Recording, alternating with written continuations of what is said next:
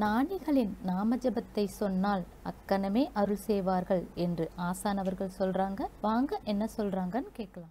இந்த இந்த துறை மட்டும் இந்த ஆணா இருந்தாலும் சரி பெண்ணா இருந்தாலும் சரி மாணிக்க வாசகா ராமலிங்க சாமிகளே திருஞான சம்பந்தா பெ- பெரியோர்களே சொன்னா போதும்.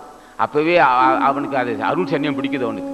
அது ஆணாக இருந்தாலும் சரி பெண்ணாக இருந்தாலும் சரி அவன் கடைசி வரலும் அவனை காப்பாற்றிடுவான் இது சொல்ல வைக்கணும். எங்களுக்கு என்ன நாங்கள் வந்திருக்க நோக்கமே நூற்றுக்கணக்கான ஆயிரக்கணக்கான லட்சக்கணக்கான மக்கள் ஞானியின் நாமத்தை சொல்லுங்கள். கடைசி ஒன்றும் உன்னை விட மாட்டான் கடைசி ஒன்றும் உன்னை கரை சேர்க்காம விடவே மாட்டாங்க. இது சத்தியம். இந்த இன்னைக்கு பேசுகிறேன் நான். ஒரு ஞானி நாமத்தை நோக்கத்து நோக்கம் என்னன்னு கேட்பான். ஏயா எனக்கு திருமலை தேவான் ஏன் அழைச்சேன்னா? நான் உன் திருவடி பூஜித்து ஜென்மத்தை கடத்தேற்ற விரும்புகிறேன். என்றானும் சாகாத கல்வியை கல்வின்னு சொன்னார்களே அவையார்.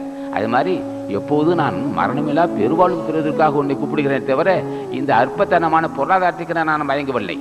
இந்த உலக மக்கள் போற்றட்டும் தூற்றட்டும் எனக்கு அவசியம் இல்லை. நான் மச்சி மாளிகை கட்டியதற்கு நான் விரும்பவில்லை உன்னை. மாளிகை மேல் வீடு கட்டி மனை வாழ்வினது என்று வாழ்கின்றம் பற்றி நாளைய மண் வந்து அதட்டி கொண்டு நடப்பாத அதிகானை அறுப்பதை பற்றி மசான் சொல்வார். ஆக மாளிகை மேல் வீடு கட்டுவதற்காக நான் உன்னை அழைக்கவில்லை ஐயனே. நான் ஜென்மத்தை கடைத்தேற்றுகிறேன் அவையார் சொன்னார்களா வயன்றானும் சாகாத கல்வியை கல்வி நான். அந்த கல்வியை பெறுவதற்காக உன்னை அழைக்கின்றேன். திருமலை தேவா உன்னை அதுக்கு தான் அழைக்கிறேன். யாரப்பா அது இவ்வளவு பெரிய வார்த்தை கேட்குறான்? அவ அவன் அது வேணும் இது வேணும் கேட்டான். போட்டு வளர்த்திட்டு கிடப்பான். பிள்ளைக்கு இப்போ திருமணம் செய்யணுமேம்மா எல்லாம் நான் எல்லாம் முடிச்சுட்டேன். இந்த பிள்ளைகளுக்கு ஒரு கரை தேட்டி விடணும்மா. இவர் கரை தேட்டாராம் அவர். இவர் பிள்ளைகளை கரை தே என்ன நீ எவ்வளோ நாளைக்கு இருப்பான்னு கேட்டான். ஞானத்தை பேசி பேசிட்டு இருக்கேன் இப்போ நான். நீ எத்தனை ஆண்டுகளாக இருக்க போற? பிள்ளைகளுக்கெல்லாம் திருமணம் செஞ்சுக்கணும். அவனுக்கு அது எல்லாரும் மூணு மொதமனுக்கெல்லாம் திருமணம் செஞ்சுட்டேன். கடைசி போய் கொஞ்சம் சரியில்லாத பையனாக இருக்கான். அவனை பொறுத்த ரொம்ப கவலையா இருக்குண்ணா. ஏ எவ்வளோ நாளைக்கு இப்போ நீ என்ன கவலைப்பட்டுக்கிட்டு இருப்பேன் கடைசி மையனை பொறுத்து நீ கவலைப்படுறியே நீ எத்தனை ஆண்டுக்கு இருப்பண்ணா விடாத கவலைப்பட்டுக்கிட்டே இருப்பான். விடாத கவலைப்பட்டுக்கிட்டு திரும்ப தேவன் இருப்பான் அகத்தியனை கூப்பிடுவான். அவன் பாபா சிரிச்சுக்கிட்டே இருப்பான். உயிர் கஞ்சி முட்டையை காக்கு கூட்டிட்டால் அதாவது திருமலை சொல்லுவார். உயிர் குஞ்சு முட்டையை காக்க கூட்டிட்டால் அயற்பின்றி காக்கை வளர்க்கின்றவாறு போல். இயக்கில்லை போக்கில்லை ஏன் என்பதில்லை. மயக்கத்தால் காக்கை வளர்க்கின்றவர் தெய்வ மானுடர்களே இந்த குயில் என்ன செய்யும்? முட்டை வைக்கும்போது காக்கா கூட்டை போய் குண்டு முட்டை வச்சிடும் அது என்ன செய்யும்? காக்கா ரெண்டு முட்டை தான் வைக்கும். குயில் என்ன செய்யும்? வந்து ஒரு முட்டை வச்சு போடும்.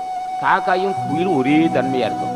குயிர் குஞ்சு முட்டையை காக்கைக்கு விட்டிட்டால் அயற்பின்றி காக்கை வளர்க்கின்றவாறு போடலாம் என்ன செய்யும்? அங்கேருந்து வந்து பார்க்கும். அது இத்தனை முட்டைன்னு தெரியாது காக்கிறது அடை காக்கும். காத்து என்ன செய்யும்?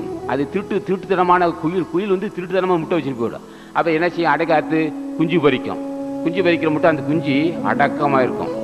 ரெக்க முத்திர மட்டும் ரெக்க முத்திர மட்டும் அடக்கமாக அந்த குயில் குஞ்சு இருக்கும். ரெக்க முத்துனதுக்கு அப்புறம் புறப்பட்டு ஓடி போடும். ஆசானது அருளுரைகளை தொடர்ந்து கேட்க அரங்கர் டிவிக்கு லைக் பண்ணுங்க சப்ஸ்கிரைப் பண்ணுங்க. மறக்காம பெல் பட்டனையும் கிளிக் பண்ணுங்க.